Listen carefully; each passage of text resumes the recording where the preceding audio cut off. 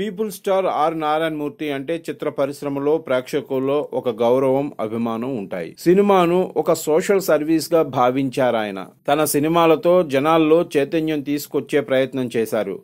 ప్రజా సమస్యలు ప్రభుత్వాల దృష్టికి తీసుకెళ్ళారు. వ్యవస్థలలోని లోపాలు ఎండగట్టారు.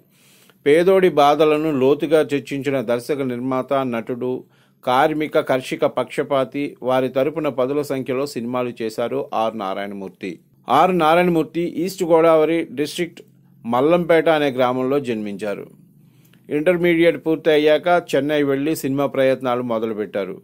పంతొమ్మిది వందల డెబ్బై మూడులో విడుదలైన నేరము శిక్ష చిత్రంలో జూనియర్ ఆర్టిస్టుగా ఒక చిన్న పాత్ర చేశారు. ఆ చిత్రంలో కృష్ణ హీరోగా నటించారు. దాసర్ నారాయణరావు సలహా మేరకు చదువు పూర్తి చేద్దామని తిరిగి సొంతూరుకు వచ్చేశారు. బీఏ పూర్తి కాగానే ఆర్ నారాయణమూర్తి మరలా చెన్నై రైలెక్కారు. దాసు నారాయణరావు దర్శకత్వంలో తెరకెక్కిన నీడ మూవీలో సెకండ్ హీరో రోల్ చేశారు. ఈ చిత్రం మంచి విజయం సాధించింది. దాస నారాయణరావు సీతారాములు మూవీలో మరో అవకాశం ఇచ్చారు ఆర్ నారాయణమూర్తికి. ఆర్ నారాయణమూర్తి మెల్లగా విప్లవ సినిమాల వైపు మళ్ళాడు. అర్ధరాత్రి స్వాతంత్రం ఆలోచించండి భూ పోరాటం అడవి దివిటీలు లాల్ సలాం దండోరా వంటి చిత్రాలు చేశారు. స్నేహ చిత్ర పిక్చర్స్ పేరుతో బ్యానర్ ఏర్పాటు చేసి సినిమాలు నిర్మించారు. ఆర్ నారాయణమూర్తి దర్శకత్వం వహించి నటించిన ఒరే రిక్షా సూపర్ హిట్. ఆ చిత్రానికి నిర్మాత కూడా ఆయనే. ఆయన దర్శకత్వంలో వచ్చిన మరో భారీ హిట్ ఎరసైన్యం అప్పట్లో ఎరసైన్యం ఒరే రిక్షా సినిమా పాటలు ఊరూరా వినిపించేవి.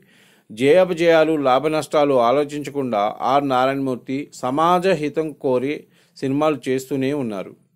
తాజాగా ఆయన యూనివర్సిటీ టైటిల్తో ఓ మూవీ చేశారు. ఇది విద్యా వ్యవస్థలో ఉన్న లోపాలను ప్రశ్నించేదిగా ఉంటుందని సమాచారం. ఇటీవల యూనివర్సిటీ మూవీ ప్రమోషనల్ ఈవెంట్ నిర్వహించక బ్రహ్మానందం ముఖ్య అతిథిగా హాజరయ్యారు. ఇక కనీసం ఇల్లు కూడా లేని ఆర్ నారాయణమూర్తి ఆర్థిక ఇబ్బందులు పడుతున్నారని ఇండస్ట్రీలో టాక్.